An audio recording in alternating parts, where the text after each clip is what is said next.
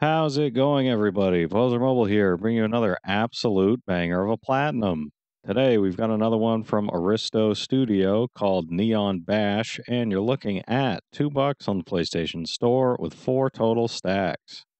Have you ever seen one of those ads for mobile games with two lanes that you have to shoot a certain number of times to get through it? This is basically that, except with six lanes instead of two, and without the overly annoying, oh my god, I can't believe I failed guy being paid to make the video who's never played anything in his life. You know what I mean. So the premise is simple you shoot the block as many times as the block says to shoot it. You can only shoot blocks that are the same color as your ship, and there will be little blobs of color you can pick up on the track to change which color you are, as well as ammo pickups you can see how many shots you have in the top right. As far as strategy goes, just try to remove the lowest number block every single time. You get more points for higher number blocks, but you've got limited shots you can take, so just be conservative with it.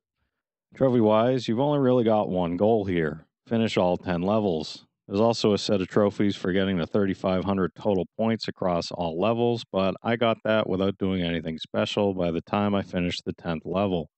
I finished this in right around 13 minutes or so. I don't know how much time you can shave off that, maybe get it down closer to 10 minutes, but the fact that your movement speed is locked means you can't really finish it too much faster than that. That'll do it for me, though, everybody. If you plan on getting this one, leave a like, subscribe for more, and comment down below which number platinum this was for you. It was number 930 for me.